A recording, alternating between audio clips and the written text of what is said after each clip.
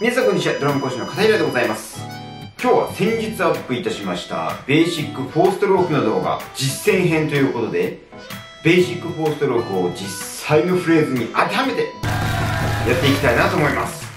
今日例にとるフレーズはこのようなフレーズです。せーのポン。演奏するとこのようになります。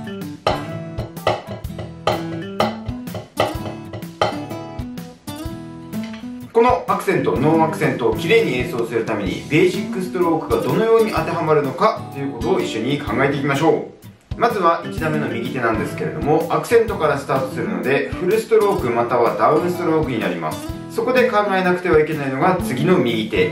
次の右手はアクセントがついていないのでローポジションからのスタート。ということは1打目を打ったら低い位置に手を残しておかなくてはいけないので1打目は自然にダウンストローク。このようなやつですね。これになります。3打目の右手に備えて1打目はダウンストロークになります。では次に2打目の左手です。2打目の左手はアクセントがついていないのでタップストロークまたはアップストロークになります。ここで考えなくてはいけないのが4打目の左手。4打目の左手がアクセントになっているので2打目を打ち上げたらハイポジションに持ち上げなくてはいけません。2打目の左手はこのアップストロークですね。これになります。次に3打目の右手です。ここまで1打目2打目をこのようにやってきました。1打目右手のダウンストローク。2打目左手のアップストローク。で3打目は右手低い位置ローポジションからのスタートでアクセントがついていません。でその次ですね。5打目の右手を見た場合5打目の右手もアクセントがついていないのでここはそのままタップストロークで大丈夫です。とこのように考えていくと6打目まではこのようになります。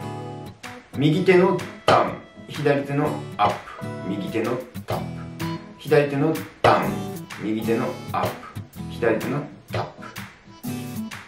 で次7段目なんですけれども7段目アクセントがついているのでフルストロークまたはダウンストロークになります。でこのフレーズの繰り返しだと次最初に戻った時に右手がアクセントになるのでここは右手フルストロークで上に戻します。これが7段目です。7段目はフルストロークになります。で最後8打目の左手なんですけれどもその次戻った時の2打目の左手を見てみるとそこはアクセントがついていないので最後はタップ。大丈夫です。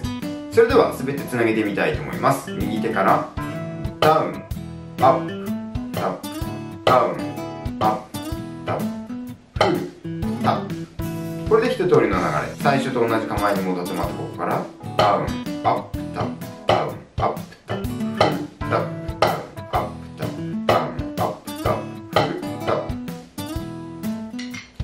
このようになります。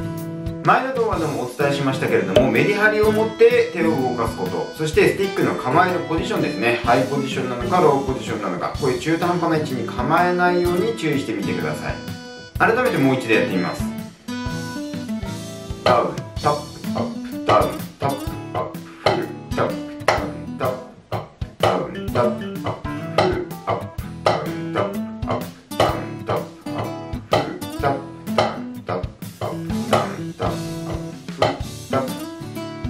この動きをだんだん速くしていくとこのようになります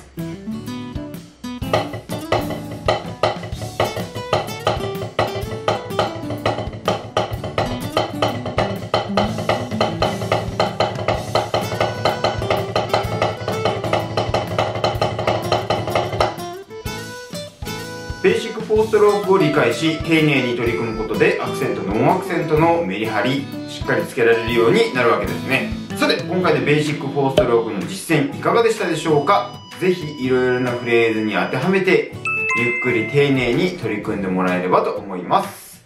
この動画面白かったらぜひ高評価チャンネル登録よろしくお願いいたします。ではまた別の動画でお会いいたしましょう。バイバイ。